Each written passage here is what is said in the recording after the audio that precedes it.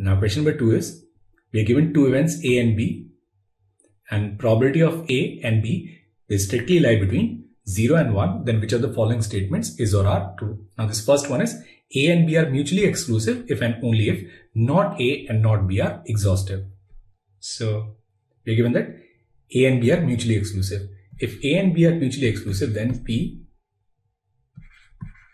A intersection B will be 0 and we have to prove this is possible if and only if not A and not B are exhaustive. That means probability of A naught union B naught it is equal to 1. Now if you look at this probability then it will be this probability of A intersection B naught will be 1. So from here we get probability of A intersection B will be simply 0. So we can prove it both ways. We can start from P A intersection B taking it at 0 and then we can write probability of A naught union B naught will be probability of A intersection B naught which is 1 minus probability of A intersection B and it is 1. That means if A and B are mutually exclusive then A naught and B naught are exhaustive and if we start from this P A naught union B equals 1 then we get P A intersection B as 0. So if A naught and B naught they're exhaustive it implies A and B are mutually exclusive. That means this statement 5 is correct.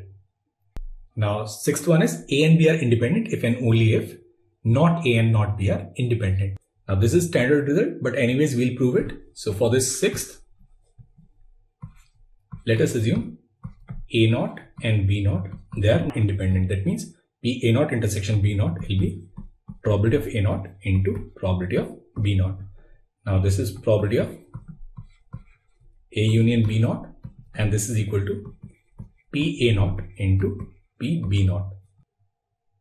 Now we can write this as 1 minus probability of A union B and it'll be equal to 1 minus probability of A into 1 minus probability of B. Now PA union B is PA plus PB minus PA intersection B. So it will be 1 minus PA minus PB plus P A intersection B and will be equal to 1 minus PA minus PB and plus PA into PB. Now this 1 PA PB will cancel. So from here the only condition that we get is probability of A intersection B is probability of A into probability of B. So if A naught and B naught they are independent then it implies A intersection B is also independent. And we can prove vice versa also. So if we assume P A intersection B as P and PB that is A and B are independent then we can write probability of A naught intersection B naught as probability of A union B naught which is 1 minus probability of A union B will be 1 minus probability of A minus probability of B and plus probability of A intersection B. Now probability of intersection B is PA into PB. So we can write this as 1 minus PA minus PB and plus PA into PB. Now if we take these together then we can factorize this as 1 minus PA into 1 minus PB.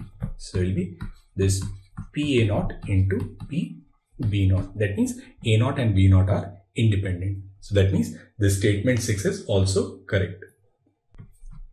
Now this sixth one is A and B cannot be simultaneously independent and exhaustive.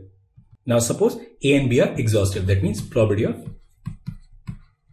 A union B is 1 and if probability of A union B is 1 we can write P A union B as probability of A plus probability of B minus probability of A intersection B.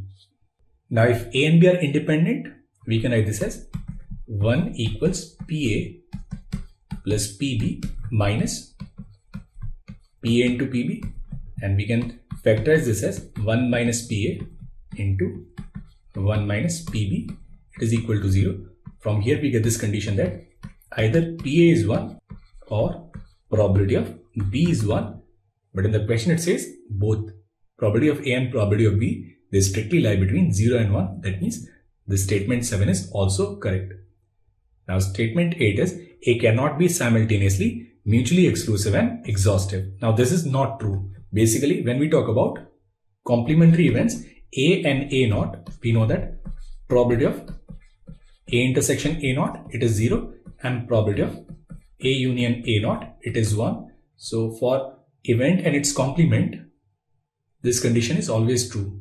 Two events A and B, they can be mutually exclusive as well as exhaustive. Say for example, tossing a coin. If A is getting a head and B is getting a tail, then both these events are mutually exclusive and exhaustive. That means this option 8 is incorrect.